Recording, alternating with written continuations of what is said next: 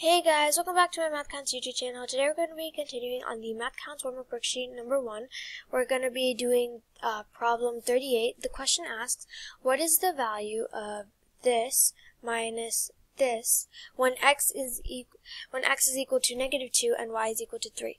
So before we substitute, we're going to uh, before we substitute the x's and the y's, we're actually going to multiply because it's it's common knowledge that that neg that when you have a parentheses and no other like there's no like oh sub a three subtract um three minus the what's in the parentheses then you multiply this number by whatever by whatever is in the parentheses so instead of adding up these two numbers we're first going to do 3 times 3 times 4x. So 3 times 4x um, is, so 3 times 4x is 12x.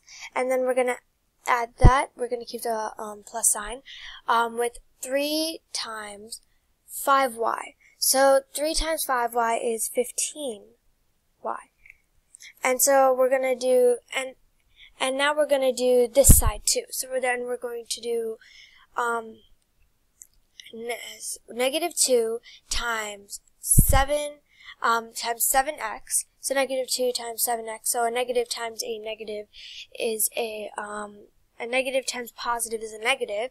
So negative 2 times positive uh, times positive 7x is negative 4 uh, is negative 14x. And then negative negative times a negative is a positive. So negative, so um, um, negative 2 times negative 3y is negative 6y. So now that we know this, we're going to multiply the like terms together. So that's 12x, and we're going to multiply that. We're going to multiply 12x by negative 14y, and we're going to multiply, oh, sorry guys, I forgot to add the plus there, so that's positive 6y. So, because a negative times negative is a positive. So we're going to do negative, I mean positive 12, 12x um, times negative 14x, and we're going to do positive 6y plus negative so we're going to do positive 12x minus, uh, minus 14x, and we're going to do positive 6y plus, uh, plus positive, um, 15y. So we're going to do that. So that's 12x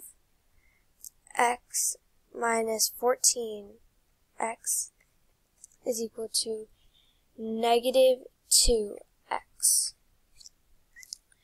So this is negative 2x.